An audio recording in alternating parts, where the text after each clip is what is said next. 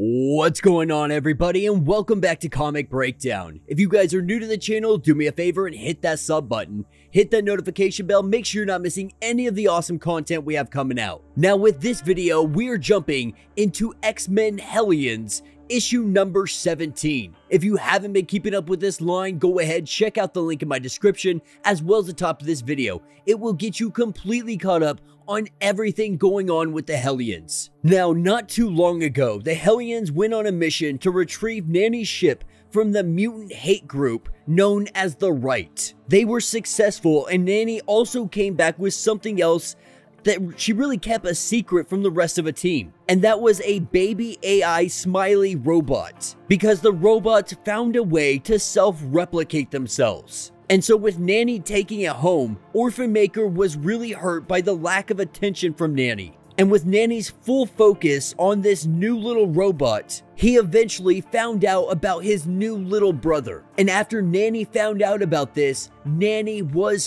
furious with Orphan Maker. But even that was nothing in comparison to the right taking over the ship and taking this baby, jettisoning it all the way to where they are. They kidnapped this baby from Nanny. And in doing so, Nanny was severely hurt, but Nanny survived.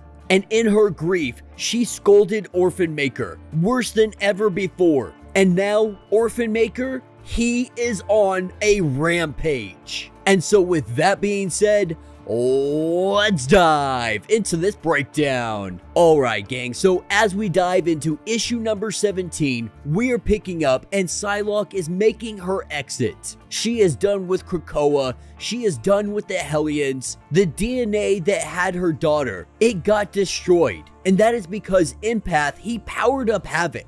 In doing so, this destroyed the entire facility that Sinister had created. This cloning center, this cloning farm that he created, and it was the only location that had Psylocke's daughter's DNA. And so unable to do this team anymore, unable to stay on Krakoa, she goes to make her exit, but Emma Frost stops her. Because at the end of the day, Psylocke is one of the captains, and she really wants to know, why are you leaving?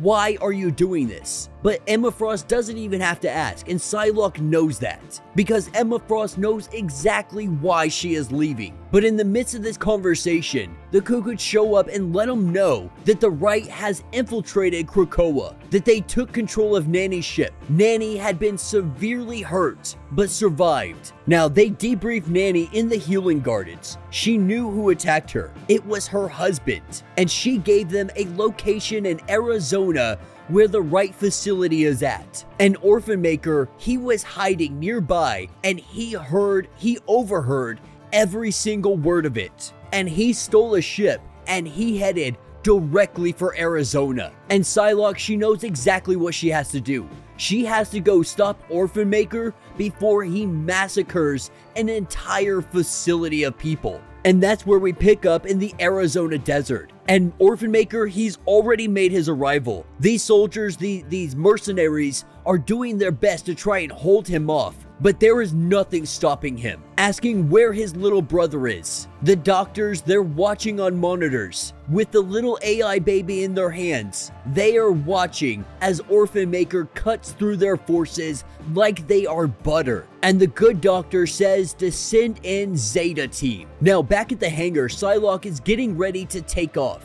But this is when the other Hellions, they start showing up one by one. The first of them being Havoc. Now at this point, he feels like he has to do something. You know, after what happened to his daughter, not knowing what happened with his powers, you know, realizing that it was empath, but he still feels guilty about it. He feels he still feels like this is all his fault and he wants to do something, anything he can to make it up to Psylocke. And this is where we see Grey Crow, we see Nanny, we have empaths show up, everybody's showing up to come and, and do this as a team. Now Psylocke saying, you know, we're not a team. We should have never been a team. I don't know why we ever thought it was even possible to form this team together. But Grey Crow lets her know that that's never stopped them before. And he doesn't see why it should stop them now from going and trying to rescue Orphan Maker before he gets himself into too much trouble. And with Empath showing up, just acting like his smug, arrogant self, Grey Crow told him, if I ever see you again, I will put a bullet in your head.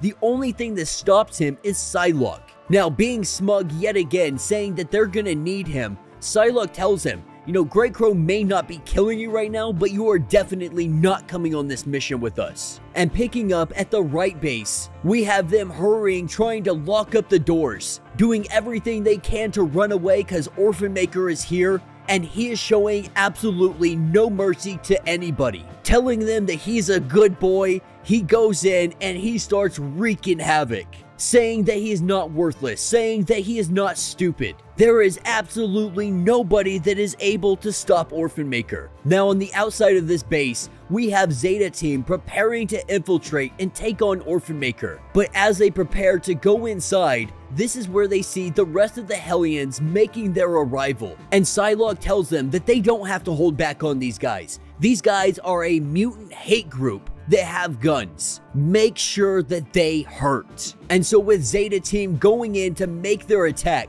Havoc is the first one to use his abilities and he sends a blast headed directly in their direction. And so this is where the fight begins. With all hell breaking loose, our mutants are making quick work of these guys. With their inability to stop them, their inability to do anything against them, the Hellions are running through them. And on the inside of the facility, they are running around frantic as well because Orphan Maker, he has made his way inside. He has made his way inside to the doctor and he has found his little brother. He has found the AI robot. And with him taking it in, with it being safe, we see Nanny come into the room and he tells Nanny that he got him back hoping that Nanny will praise him, that Nanny will call him a good boy. Nanny still is extremely rude, says that you're upsetting him, and immediately goes to taking care of this little baby, making Orphan Maker even more sad. But this is when the little AI baby, it starts to say words. It starts to say Mew, Mew, but then it says its full sentence. It says mutant. It says mutant scum.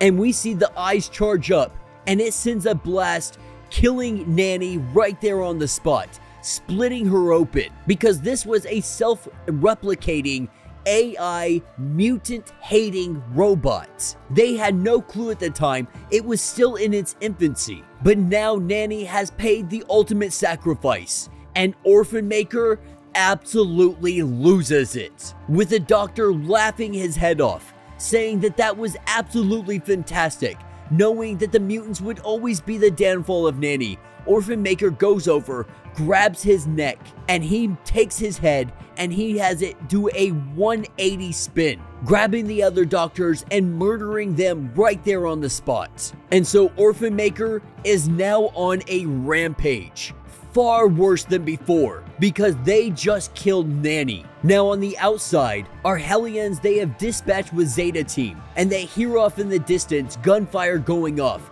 Realizing that this is Orphan Maker, they know they have to try to get to him before it is too late. And as he blasts away everybody, saying that it's not funny that Nanny died, that nobody is going to laugh anymore because everybody is going to be dead. And as they try to make their escape, running out of the building, he is filling them with bullet holes, massacring this entire place. As he makes his way outside, there are two local police officers with their guns drawn, not knowing what is going on, but saying that this is federal land and that he is engaging in illegal activity and he needs to put his gun down now. And as the Hellions make their way inside, they find the body of Nanny on the ground. Seeing the little AI Smiley smashed to smithereens, they know that Orphan Maker isn't going to take this well. With them hearing gunshots outside, they all run outside and, and they don't know what to expect. They just know that something is off, something feels very wrong.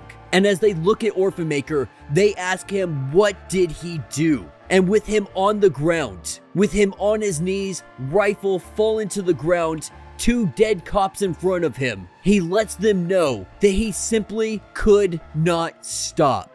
And that will be the end of this issue. So let me know what you guys think down in the comments. You know, this played exactly how we thought it was going to play out. Orphan Maker absolutely lost it. At first, it was simply to try to seek the approval of Nanny, but after seeing his quote unquote little brother murdering Nanny right in front of his face with the doctors laughing their heads off, Orphan Maker snapped. Orphan Maker finally broke after all of this time, after all of this degrading, all of this anger building up. Orphan Maker finally just broke. And we see what happens when Orphan Maker breaks. Everybody in his path got murdered. People's heads got spun around, and he could not stop him. He could not stop himself once he finally came across something that he probably shouldn't have killed. Now this is going to have huge ramifications later on. We're going to see this affecting the, the relationship on a political level. And so who knows what is going to happen next. The Americans are more than likely going to want to hold somebody responsible. Someone is going to have to pay for this. And we can only assume that that will be Orphan Maker. But yeah, let me know what you guys think down in the comments. If you have not yet, do me a favor, hit that sub button. Hit that notification bell, make sure you're not missing any of the awesome content we have coming out. And until the next video.